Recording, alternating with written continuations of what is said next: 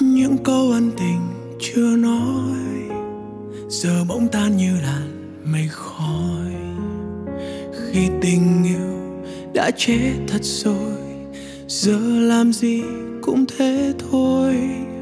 Thiếu nhau bao lời xin lỗi, định nói ra nhưng rồi lại thôi.